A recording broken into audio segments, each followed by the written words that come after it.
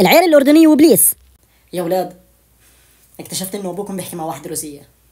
ومتفقين إنهم بدهم يتجوزوا. وبكره بالليل على الساعة 12 بدي أسافر عندها وأنا مش عارفة شو بدي أعمل. يما زي ما هو بيحكي مع واحدة روسية وانت احكي مع واحد روسي. يا زلمة اخرس أنت؟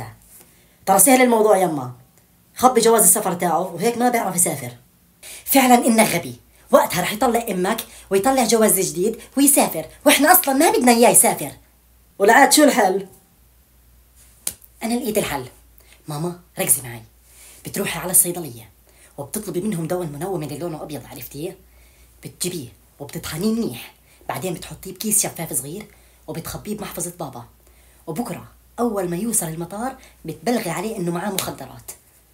أيوه. وهون بيمسكوه. وبضربوه وبيبهدلوه وبيحبسوه. وباخذوا منه عينة دم أقل إشي بده من أسبوعين لشهر بالسجن. وهون وقتها الروسية بتتأكد إنه بابا بضحك عليها. هون أنت بتكوني أخذتي حقك بدون ما تلمسيه. وكمان تنسيش إنه رح ينزل عليه منع سفر ويبطل يسافر. بس برضو ماما بدي منك شغلة. لا تكتري كمية الدواء عشان برضو بابا ما ينزل على تجارة. إحنا جماعة بنخاف على سمعتنا.